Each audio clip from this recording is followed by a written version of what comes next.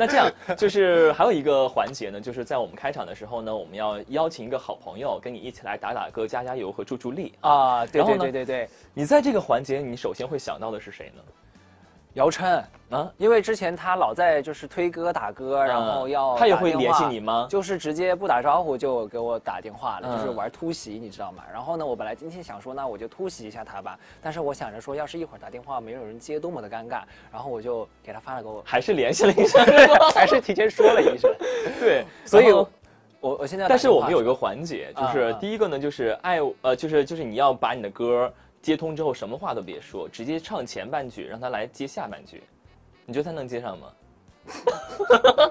你觉得他说打电话，然后没有说唱歌，是吧？我就跟他说，我一会儿有个有个采访，嗯嗯要给你打，我给你打电话哈，嗯，然后刚刚过来了嘛，我还没看手机，我不知道他回，不知道他有没有回，或者说我一会儿打电话他会不会接？就完全就是突然袭击哈。对对对啊，第二个就比较简单了，爱我你就夸夸我，让他来夸一夸你就可以了。OK，嗯那那那那应该应该他应该是夸得出口的。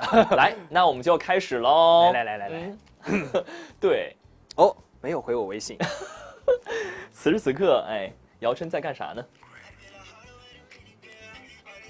要会不会接呢？如果不接我很怕他我很怕他会不会在飞机上是吧？嗯，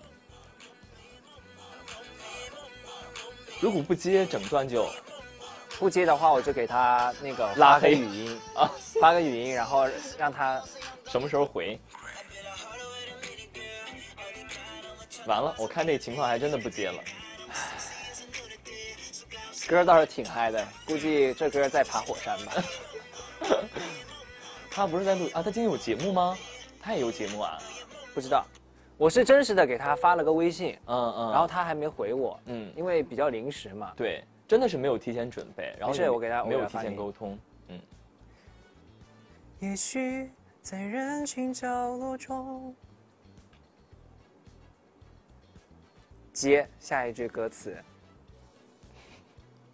如果你看到的话啊，如果你接不住的话，发语音夸我至少呃十句吧，对嗯，差不多啊。嗯，姚琛姚琛速速回电是吗？看了微信赶紧回我啊，我很尴尬啊。好的，那我们就等他吧。然后就是节目当中随时，对对对，他要是回我了，我就随时然后回来跟大家一起来分享音乐，到底能不能够接上成功呢？这个也是个悬念哈。